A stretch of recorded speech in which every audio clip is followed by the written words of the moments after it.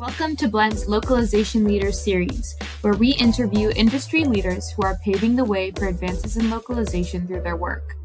In this episode, we're joined by Pleo Senior Content Localization Manager, Diana Georgieva.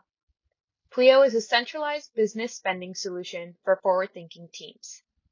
All right, Diana. So we usually like to start just by getting some background. Um, so yeah, if you can just start by telling us a little bit about your career path and how you became the senior content localization manager at Pleo. Absolutely. Um, thank you so much, uh, for, for having me. It's a pleasure to speak with you. So, um, as you mentioned, I'm currently um, the um, senior localization manager at Pleo. Um, but for me, um, joining uh, the localization industry started kind of sort of as a natural career path. I've always been, um, since an early age, very interested in language, uh, in translation, um, and my background is uh, in um, global languages and international business. Uh, my first job uh, was uh, in the localization industry was as an LQA tester for Bulgarian language for Nokia phones. I don't know if you remember that. Wow. Yes, I do. And uh, I did that while I was uh, studying, um, when I was working on my degree in uh, Mandarin in, um, in Beijing. Oh, and then uh, later on, I moved to Copenhagen uh, in uh, Denmark, where I've held different positions within the localization industry. So I started in, um, in on the agency side, where I learned the ropes in project management, account management in, in localization. And about seven years ago, I switched over to the client side. So I've worked for um, global tech companies, helping them on their marketing and uh, product uh, content localization programs. And I have the privilege to to be working at Pleo at the moment. Uh, we are a global fintech company uh, specializing in um, spend management. Yes, no, we're familiar with the your brand, and it's great. So, how many languages do you guys support today? Do you know? Uh, so today, as, as pure languages, uh, we have 11 and uh, we uh, maintain 16 locales. So we have, ah. and, and we're working awesome. on further expansion. Great. Um, and so how would you say your team is structured, your, the localization department? Every company does it a bit differently. Yeah. So um, we are a small agile team. We have uh, two localization engineers, uh, two localization operations specialists. and we work with a trusted uh, language services provider, LSP, and then mm-hmm. we also uh, collaborate uh, with uh, with a network of freelance copywriters who are specialists in marketing, SEO optimization, etc. for markets. So that's, that's sort of how we're structured. So we're we're centralized essentially. Amazing. And what you, what would you say is Pleo's uh, greatest localization strength? Ah, that's a very good question. Very interesting question. uh, I'd say it's it's uh, the people, both in the expertise that lies within the folks in the team. Everyone is very very experienced in what they do, and then mm-hmm. also uh, in the leadership support that we get. Uh, I know that a lot of folks struggle with that in, in, in uh, function, and we're we're privileged and uh, and lucky to to have a lot of backing uh, from from um, our leadership teams uh, to to enable us to work on uh, innovation. Yeah, that's great. I'm I'm sure you probably haven't experienced that at every every localization role that you've had, because um, it tends to go the opposite way, like you said. Absolutely, it varies, and it's yeah, yeah. Uh, it's something that you know maybe it's, it's quite overlooked. That it's it uh, one mm. of the mm. backers of success is is having that that yes. that support and investment. Yes, absolutely. Um, do you have any advice maybe for uh, a localization manager that's struggling to show the value of localization to yeah. to leadership? Yeah, absolutely. So I think that's that's an that's an always an ongoing uh, topic and an ongoing struggle mm. within the localization industry because we are positioned. Uh, we're not at at uh, at the very forefront. We're not uh, client facing. So mm-hmm. how do we measure that uh, return on investment? And this is something that um, my team and I are currently working um, and focusing on. So how do we tie what we do um, to specific business outcomes and, and, demonstrate the value that we bring of the so-called return on investment on localization so that we are not just seen as a cost center. And there are different ways to do that. We are based actually in the product side of the organization, so that helps a lot because we have um, a lot of metrics that we track. So we track our pers- uh, our team metrics and then and then try to measure how those attributes to conversion, to retention of active users, um, and um, and and yeah. So so that would be my advice to uh, work with uh, leaders or experts outside of the team. Mm. And and see what, what kind of metrics they're tracking and see how, how you can collaborate and, and tie those to to the overall business strategy and business metrics. Yeah, I think that's great advice. Um, did you find that there were any markets in particular that were challenging to break into so far, or or not? Not really. Yeah, so that's that's also that's also an interesting question. So we we were on a very ambitious expansion journey last year. So 2022 mm. was, was a huge growth year for us, uh, and we expanded into 10 new markets in less than 10 months. Wow.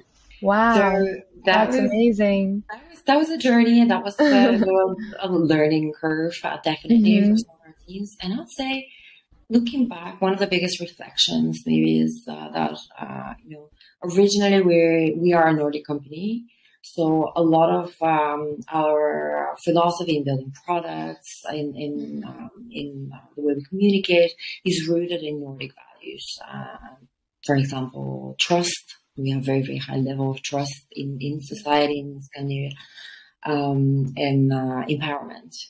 But then, as we started expanding in other places throughout Europe, uh, there was a learning curve around how you know those those concepts don't necessarily match the needs of, of or or the way we communicate around them doesn't match. So maybe there are some some markets that have um, a more a stronger hierarchy uh, than the flat hierarchy we have here, or um, there's a stronger preference for more formal communication in the B2B space because essentially we operate in B2B space, but at the same time we have a very casual, um, friendly tone of voice in our brand. So how do we translate that? How do we further adapt that to when we when we go to markets where maybe that's not uh, expected or uh, applicable? That was kind of a challenging exercise. Yeah, I'm sure. I'm sure. Wow, but this sounds amazing. 10 markets in 10 months. That's a huge accomplishment. So I'm sure it was challenging, but but very rewarding as well. Absolutely.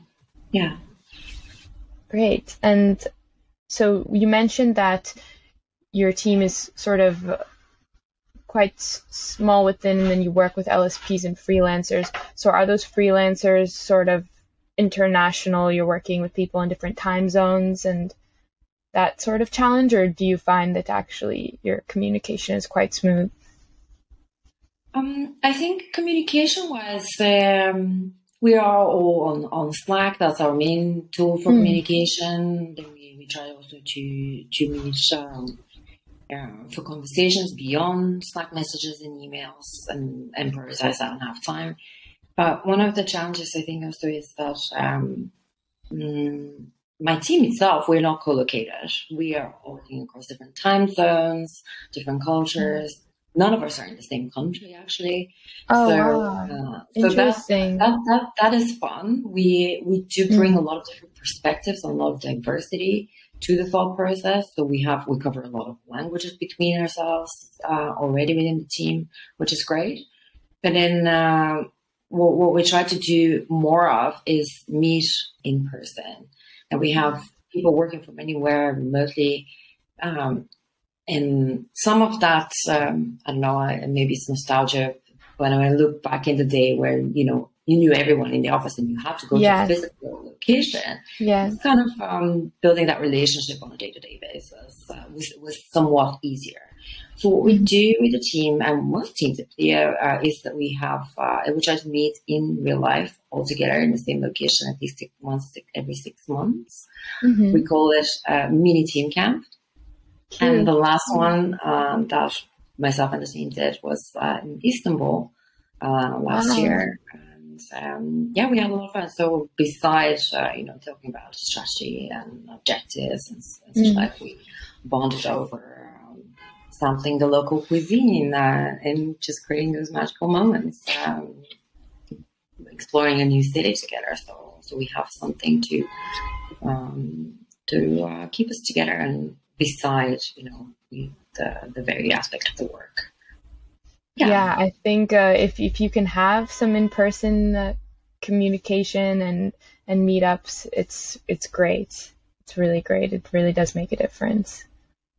I know because I've also met my team members that are working in you know the U.S. and Romania, and when when we meet, it's like wow, it it really the connection is much stronger even after you know you leave. So um, yeah, that's great.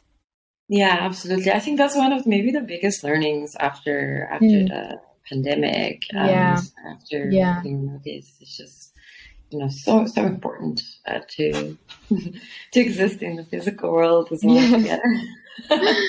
absolutely.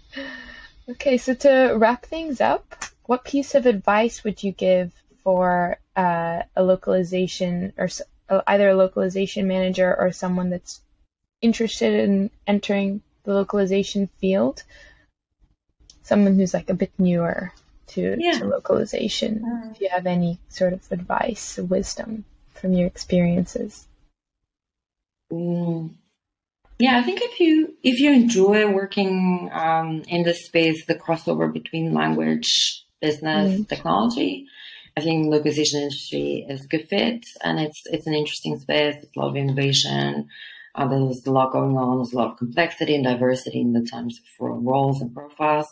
If you're very, very new and you're, you're looking into breaking into it, uh, I'd say maybe join some of the many free localization um, industry events like, mm-hmm. or networking events. Lock Lunch is a good one. Yeah. Where, where folks meet and you can you can meet people that are already working in the industry and can give you some some practical actionable insight or you can see for yourself if that's something for you. I'd say also um, a linguistic background uh, is, is good and is helpful, but it's not a must. I've met a lot of fantastic people working in the industry who come from various different backgrounds. Um, maybe the most important thing is to be proactive and curious about uh, new ways of working, um, mm. new roles that are emerging constantly. Yeah, absolutely. I think the localization industry is constantly evolving as our world continues to change very quickly. Um, so that's great advice. So now we have our rapid fire questions. So the idea is it could just be like short answers. Um, so if you're ready, I will start. Um, so what's your favorite language? Mandarin, Chinese. Okay, cool. And your favorite localization tool? Hmm uh, Lokalise. Cool. And a favorite place you've traveled to? Tokyo, Japan. Ooh, love that one. Best localization advice you've received?